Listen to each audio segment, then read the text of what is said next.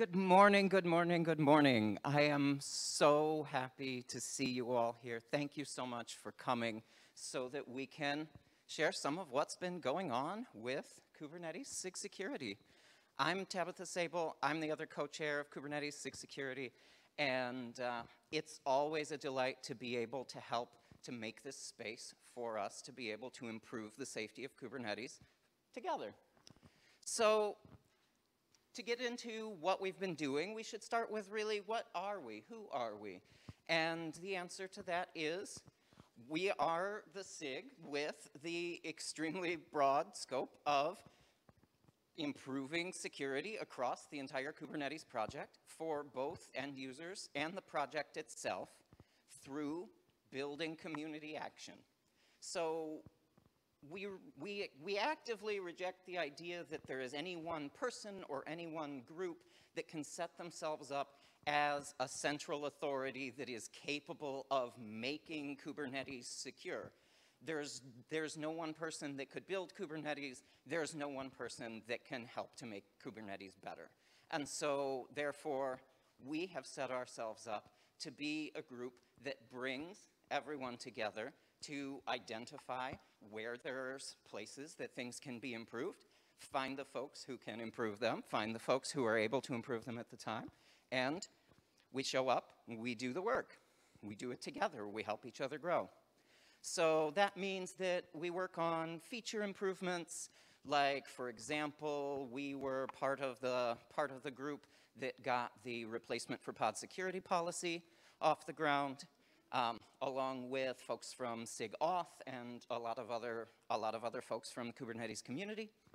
Um, we work on making process improvements, like for example, we are a uh, we are a way that the Security Response Committee can bring things to the public when they need feedback on their processes and in general processes for Kubernetes as a project, and also helping with documentation improvements because having folks with a specialized security interest or specialized security experience together means that we can find folks who are able to contribute when there's documentation improvements that need to be made.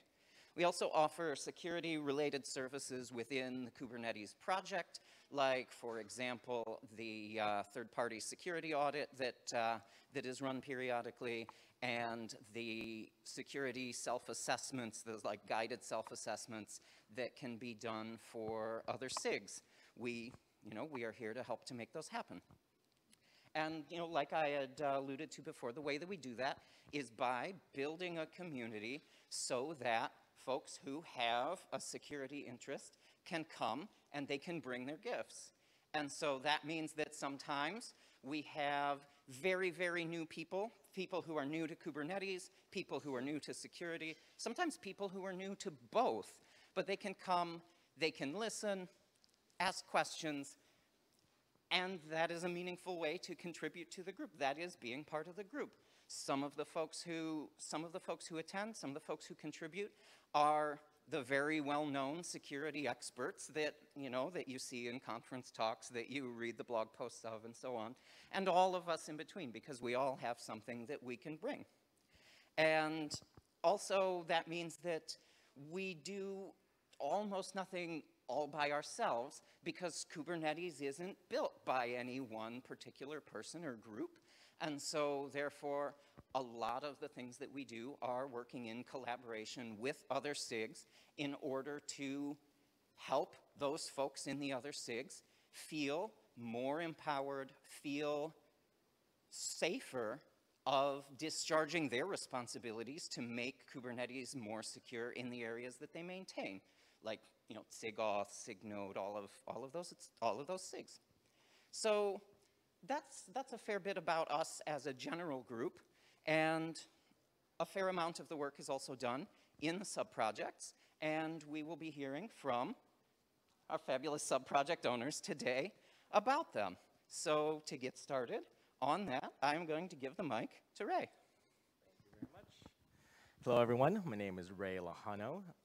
Um, I am the sub-project owner or lead for the third-party security audits, uh, but you might see me in other parts of the project. I'm also the, the SIG Docs co-chair and also the um, 123 release lead and the emeritus advisor for 125. So the third-party security audit sub-project, our, our goal is to run regular third-party security audits. Um, their overall goal is to make the whole project more secure, but the last audit was ran in 2019, where there were 34 significant Kubernetes vulns discovered, like uh, credentials were exposed as environment variables, insecure TL TLS by default, uh, no seccomp by default, as of 119, you can have seccomp by default as well. There's many more. You can read about it um, in the findings and all that are published. Next slide, please. So I want to announce that the third-party security audit for this year is actually in progress. Um, and thank you very much. And NCC Group was selected to conduct the 2021-2022 audit. The RFP was, uh, was released in 2021. Uh, we received four proposals for the RFP, um, and the went through evaluation by security experts and also Kubernetes experts as well. You can read about the decision process on that. That's on our GitHub. It's linked on the slides that are available. The audits will be based on Kubernetes 1.24, which was just released a few weeks ago. And there's a lot of changes from 2019 to, to 2022. So we are very mindful on the changes like dual stack, pod security uh, admission controller uh, going to be, that's in beta in 124, and PSP is being removed in 125, but so it's deprecated. Uh, there's lots of architectural change, lots of things that have gone GA since then, like kubectl create token, etc. So we're very mindful and cognizant of those changes uh, for this audit. Uh, next slide, please. So of course, the primary scope is going to be uh, most of the core Kubernetes uh, concepts that you see here, the API server, uh, the scheduler, the control manager, kubelet, kubeproxy. One thing, one component that we uh, did include that's in scope is the secret store, secret store CSI driver, where you could store secrets uh, externally, and you could mount it in a pod, uh, you can mount it as a volume, and that'll be in your container file system. Uh, we see this more widely used, so that's why we decided to be uh, in, the, in the primary scope of the security audit. And secondary scope is, of course, etcd, because it's, uh, it is another, another separate project as well. And the Cloud Controller Manager, just because not every uh, Kubernetes user will use the, the, Cloud Controller Manager as well. Uh, next scope, uh, next slide, okay. So what's next for, the, for this sub-project? We're gonna publish the findings. Um, also, pro this project, Kubernetes project, is so large. There are 47, 46 enhancements in 124, 47 in uh, 123, over 50 in the last, the previous two. And in 115, there's only 25. So we see this velocity increase and almost double with each release. So, and also we release from four releases a year, now three releases a year. So from 2019 to 2022, that's a lot of releases. So what we've done is that we've created an audit roadmap. There are many components of Kubernetes that are not in scope. So what, what, what we want to do is include these and run a smaller scale uh, security audits on these, third-party security audits in these. So we want to establish a roadmap, so things like cluster API will be included, or Windows worker nodes will also be included as well in the near future. Uh, I think that's it. Next slide.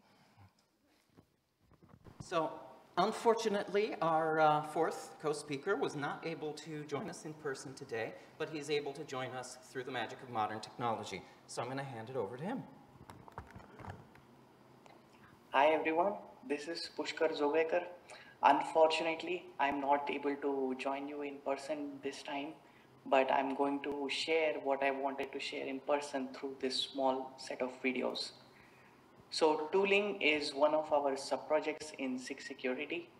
And like many other sub-projects, uh, we also work across the board, helping multiple teams and getting help from multiple teams at the same time. So let me share a bit about that in my video. So the main job for tooling is to build, enhance, and improve security through code by working across SIGs and other sub-projects. And because the community is so awesome, sometimes everything just aligns itself as magically as this picture. where the clouds and the path are just aligned and I was just walking across this place one day and I couldn't help myself really thinking about how this really represents how the community really works where uh, each cloud could be one of the SIGs that we work with and right on the grassland says SIG security trying to find alignment and everyone coming together to make their dreams about Kubernetes security come true. So sometimes, although it can be a bit confusing, uh, it can be a bit overwhelming as well to understand how do I even go about fixing things that are important for me in security.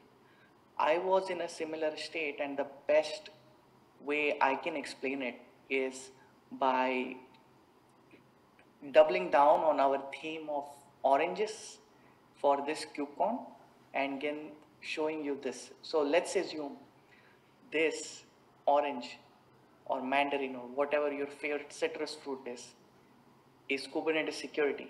And this is the cost of securing Kubernetes. So now the goal of us is to reduce the sticker price. But this Kubernetes security itself cannot be fixed by me or everyone else on the stage, but it needs everybody's help. So what do you have to do? If you have to consume and make it easy and reduce the sticker price or want to make sure that it's worthwhile, you peel the orange. So let's peel it together. And when I started peeling the orange, just like I was trying to get myself familiar with the community, what I realized is, oh, look at that. It looks like one fruit, but if you see, this orange really is made up of so many different things I can contribute at a time. So let's say this is one of the SIGs, maybe SIG release. This is uh, one other SIGs, SIG architecture. And then there are other SIGs like SIG contribex. Then we have SIG K8s infra. All of them look similar, but until and unless they all come together, we can't really secure it and we can't really feel like we're there. So that's what I had to do, figuring out how to peel the orange, which is a community in this case, and how to figure out a pathway where everyone can come together and make their dreams of Kubernetes security come true. So hopefully this helps. We and one of the things I also realized is not everyone is at the same expertise level as everybody else. So what we did as part of that was create a space for new contributors to share and learn. And what I realized is not only new and existing contributors who are interested, but they were excited to share about things they have learned, things they have been working on, and get feedback from the community. So, so far, we have had these learning sessions. We do it once every month, most of the times, unless people are not available. And we record it, and people join in, people give feedback, people ask questions. And the best part is you too can be a part of this speaker list. All you have to do is hit the link in on the slides and then go there, describe what you want to share with the rest of the group. As long as it's not a sales pitch, as long as it's not a vendor pitch, and it's related to security and Kubernetes community, we will be glad to host you in one of these learning sessions. Hi everyone. So next thing I wanted to talk to you all about is a story of a raccoon and a turtle. So raccoon uh, that I met recently has been a very knowledgeable raccoon who knows a bit or maybe a lot about security and then there were a bunch of turtles stacked on top of each other who were doing great things and they were marching along towards great management of clusters but they weren't sure or they needed help they were in fact intelligent and brave enough to share that they needed help to secure what they were trying to build together so the raccoon said hey you know i can actually help um, and I'll be happy to do it. but we need a meeting place because I know you like to be near water and I'm not really a water person. So that's where I came in. And the story is Raccoon, who is the logo of our TAG security at CNCF, and Turtles on stacked on top of Turtles is the logo of Cluster API. Were really two groups inside the community who are trying to come together. And I said, I'll host a space for you. And this is how security self-assessments was born. So let's talk a bit about that.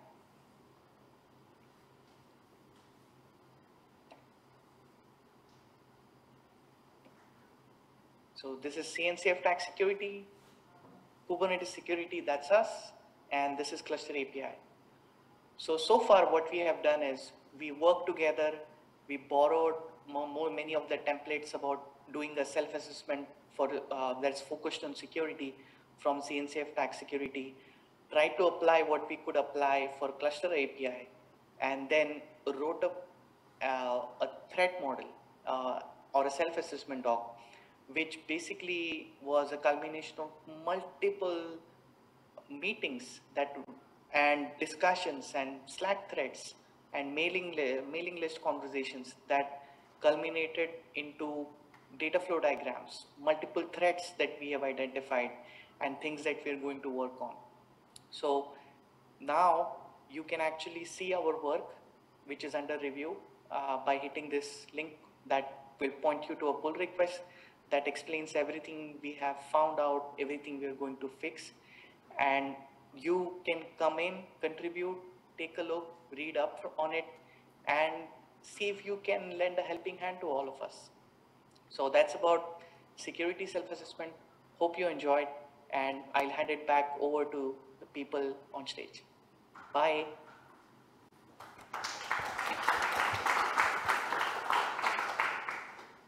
Hello everyone. My name is Savitha Raghunathan and I am the lead for the SIG security documentation project. So, can you all hear me? Yeah, okay.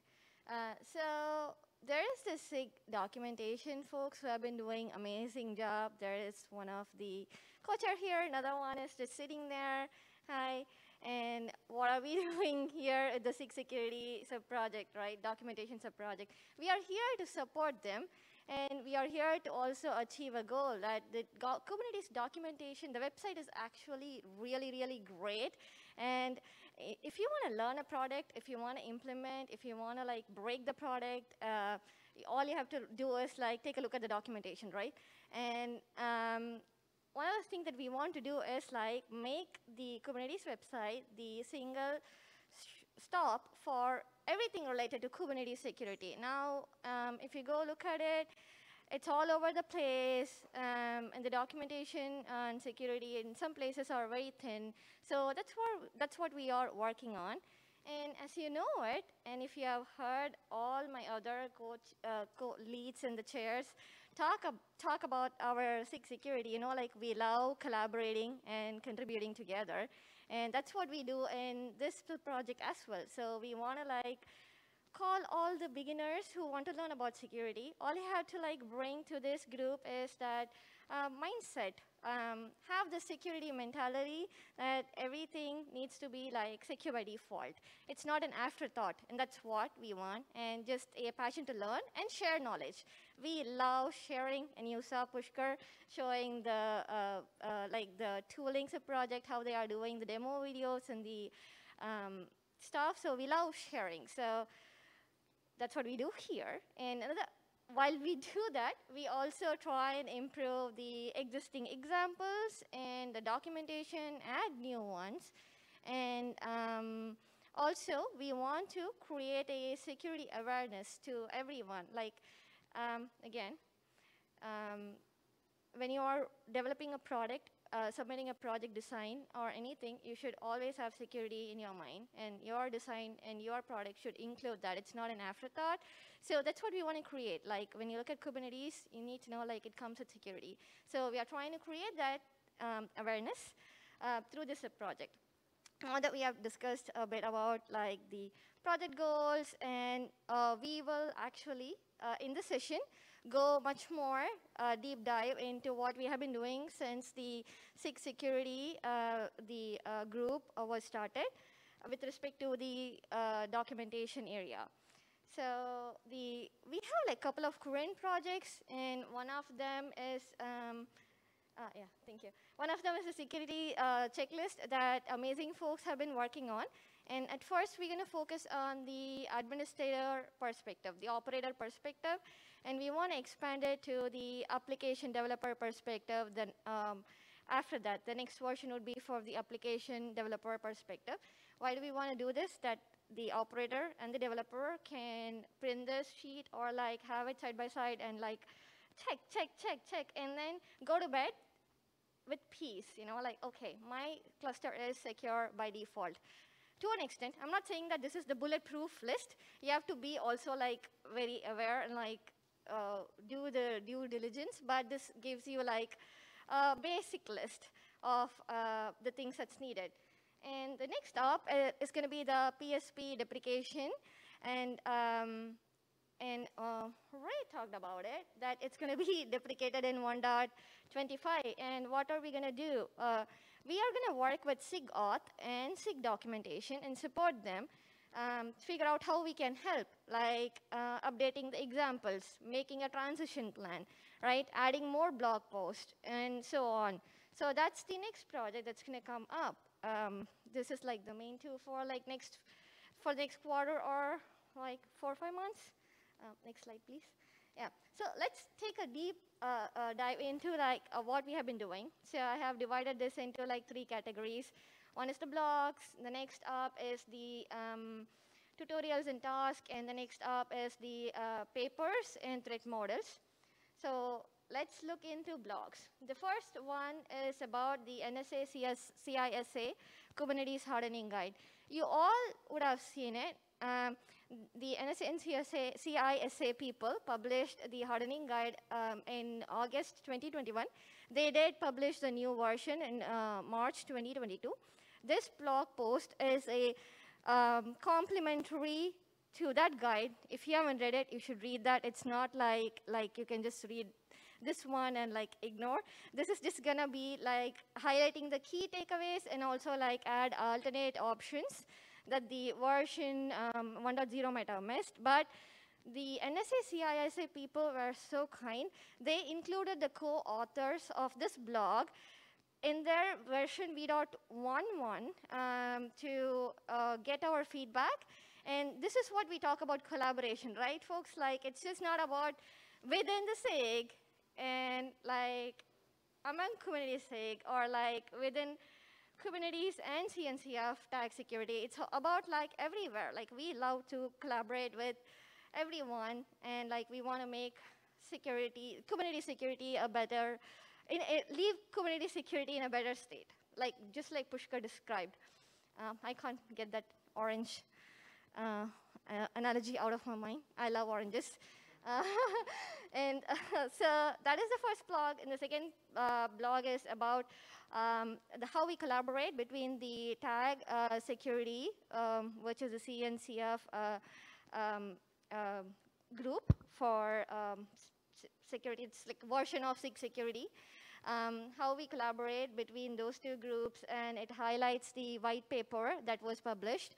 And recently, uh, there was the uh, version 2 of the white paper that was published and that was led by Pushkar again.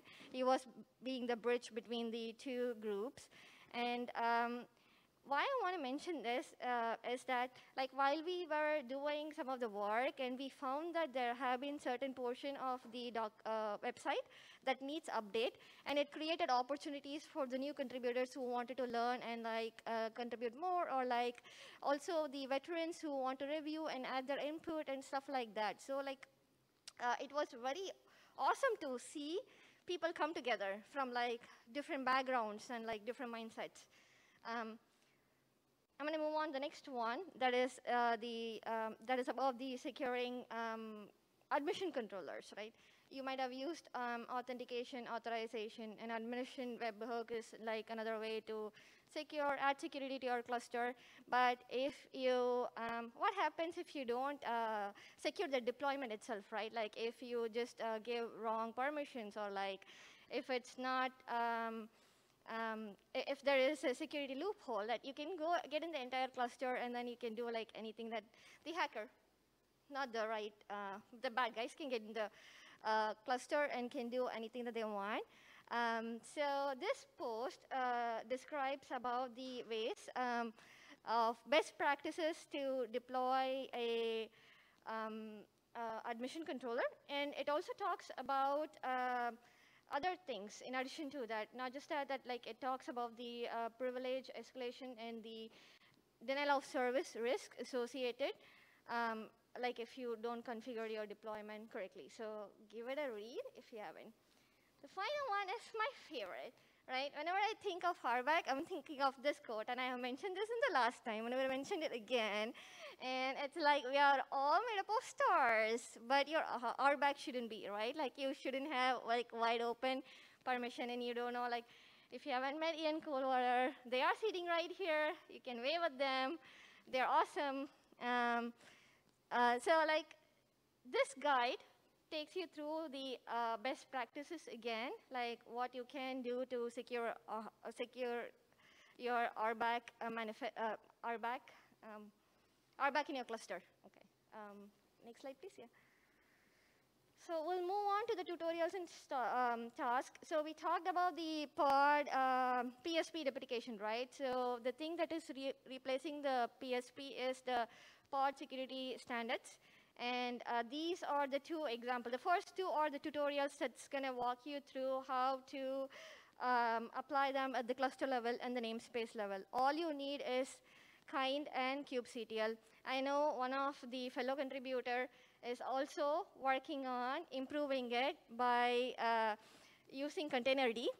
Uh, and that's going to come out soon. Um, keep an eye out for that if you don't have Docker in your local system or at your work machine that some places that you cannot, um, like with all the changes, recent changes. So if you have containerd, so someone is also working on or going to work on that. So um, when we have it, we will publish that as well. And the last one is my favorite. Like, we love collaborating. So the SIG security and the SIG release uh, collaborated on the supply chain security, right? Like that is the buzzword for now, like everywhere, it's there. And I think with uh, 1.24, 1.25, the Kubernetes release team is aiming to make Kubernetes SLSA level 3. Um, with 1.24, they did uh, release uh, the container, uh, the control plane container images that can be, that are signed, and you can verify it. There is this little task in here. You can go and run like a few commands to see uh, the um, verified signatures. So that, that is pretty cool and neat, I think. Um, and the next one, please. Thank you. So um, let's talk about the papers and threat models. Not only like we, we just focus, we don't just focus on the website, we also like try to add uh, documentation about like threat models and like white papers and whatnot. The first one is again about the admission control. Um, it talks about like uh, the attack surface if you deploy the admission control and not the secure way. It takes you through the threats and it also has mitigations um, listed in that. And the next up is the policy management. And that one talks about why do we need policy and how you can implement policy in your Kubernetes cluster. Um, I think that's all the work that we have done so far. And we have like many more to come. On the next slide, please. So if you're interested, right, this is where we need all your help if you're interested, if you have an idea, if you want to like stop by and contribute, you don't need to have any experience. All you need to have is come with the mentality that you want to learn, share, and grow, and you have you think about security all the time, right? So please stop by the Slack channel. We meet once a month, and we are not so particular about the meeting. If you cannot make it, we do a lot of asynchronous collaboration. I'm all in for that because sometimes there was a time that I didn't even know that meeting was happening, and it dropped off my calendar, and I couldn't make it. So like folks are so nice that we caught up on asynchronous uh, Slack thread. So things happen, and you cannot make it. We all can chat about it like in a thread, publicly. Um, so that's all from me. I'm to pass it back um, to Tabby.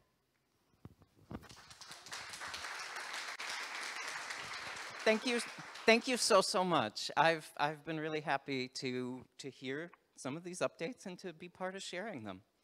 Um, because of the way that we work on this basis of sh people showing up consensually and working together in the places where they can, really wanted to give credit to all of the folks who are involved. Like, we, we do a lot to make that space and to make it so that there are these opportunities for us to be able to work together. But that's, you know, that's only the beginning of it. The, the fact that we all come together is, is where the, the magic there is. But really couldn't get everybody's name together on a slide. So like, really shout out to everybody. We, we show up, we learn, grow, we do the work, we do it together. That's, that's the way that we can make Kubernetes better. Um, you know, can't really get everybody on the slide. Like we're now at almost a thousand people in the Slack channel. And you know, every couple of weeks we get together to, to address the things that are the things that are on our mind, the things that are in progress, and uh, you know, usually that's over a dozen folks who are who are sharing things and, and working things out together. So you can you can come and join us. You can you can be part of that. We have uh, biweekly SIG meeting on Thursdays. It's at 9 a.m. Pacific. Slack is open 24/7, and uh, you know you can find out more by looking at the official documentation in K community. The question is, what Slack is SIG security in? That is, that's, that's, a, that's a very good question. This is on Kubernetes Slack, channel, channel SIG security. Thank you very much. So yeah, thank you, thank you so much for coming. We have a couple of minutes if folks have questions.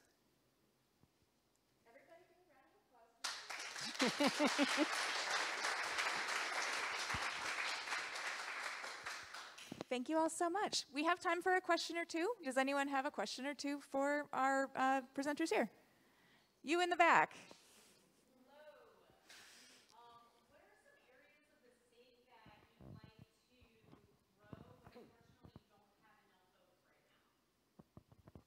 The question is, what are some areas of the SIG that we would like to grow but wish that we had more help in it specifically?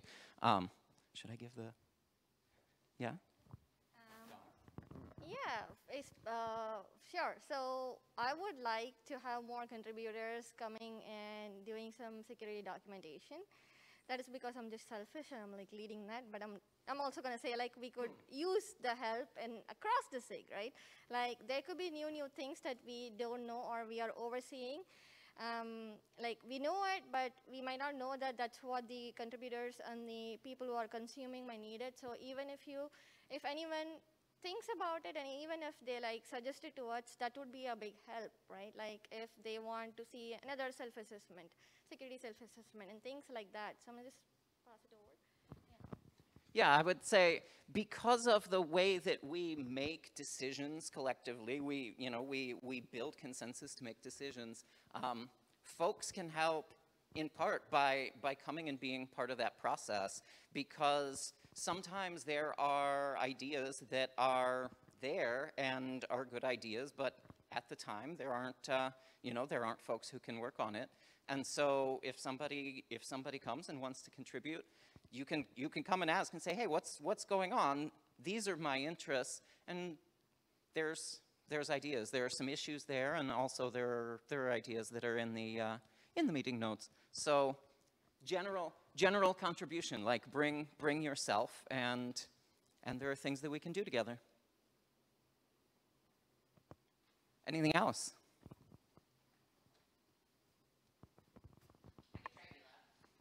I'll repeat it.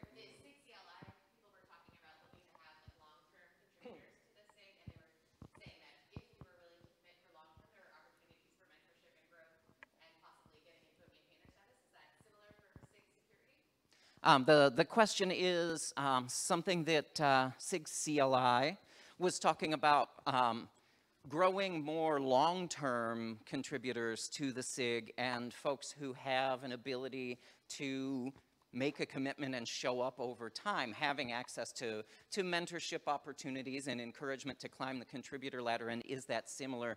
That is absolutely similar. Like, that is what we are built out of. The, the general process for where SIG security sub-projects come from is the confluence of an opportunity and folks who can be there to to run with that. And so like, for example, with the security self-assessments, like, like Pushkar was describing, there was, there was an initial request, can we do this? Um, we discussed it together and you know we we realized that this was a service that we could offer and so this first one is done by the folks who were there like as as a project that the SIG in general was was taking care of and as that went through, there was the realization that that could be made into a process and there was an opportunity there to mentor someone into a sub-project owner role and that's happening now. And so like that's, that's how we live and breathe. Thank you. Yeah. Yeah, yeah. I want to say that I could say that for most of the SIGs in Kubernetes, that we, we welcome new folks to be uh, to grow to become maintainers, not just SIG security, but most of the SIGs. We are at time also because I literally cannot help myself and I'm the co-chair. If you are involved in other SIGs, um, we also encourage collaboration from other SIGs with us. So like come and talk to us at SIG Security if you have thoughts on security stuff. We'd love to work with you.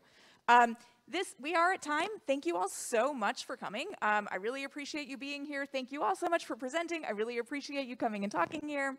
And uh, if you have questions for the presenters, um, come and talk to them. Thank you. Thank you all. Also, lots of thanks to the fabulous AV folks who helped us out with the special needs that we had. Thank you.